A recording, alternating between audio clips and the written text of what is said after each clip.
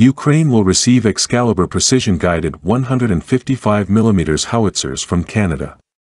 Canada will be handing over the M777 howitzers and ammunition to Ukraine, including the newest Excalibur extended-range GPS-guided shells. Militarny informs about this with reference to CBS. The media obtained confirmations from three sources saying that four of the 155mm howitzers were sent to Ukraine. For reference, Canada has 37 of these howitzers. Ukraine will be receiving these weapons from the 1st Regiment of the Royal Canadian Horse Artillery Inventory. Anita Anand, Defense Minister noted that a number of M777 howitzers were shipped to Ukraine in cooperation with our American allies. The shipment included an unspecified amount of 155mm ammunition.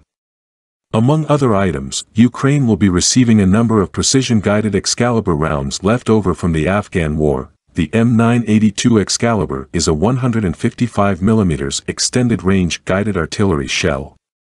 The Excalibur was developed and manufactured by Raytheon Missiles and Defense and BAE Systems AB. Excalibur is guided through the GPS and can hit targets up to 60 kilometers away. And in December 2020, during the tests, the U.S. Army successfully hit the target at a distance of 70 kilometers. The weight is 44 kilograms, and the weight of the warhead is 22 kilograms. Experience from Iraq has demonstrated the high accuracy and effectiveness of these weapons. 92% of hits were with an error of less than 4 meters.